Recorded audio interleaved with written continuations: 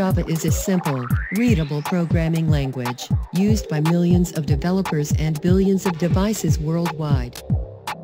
All native Android apps are built in Java, and 90% of Fortune 500 companies use Java as a server-side language for back-end development. SQL is a domain-specific language, used in programming and designed for managing data, held in a relational database management system, or for stream processing in a relational data stream management system.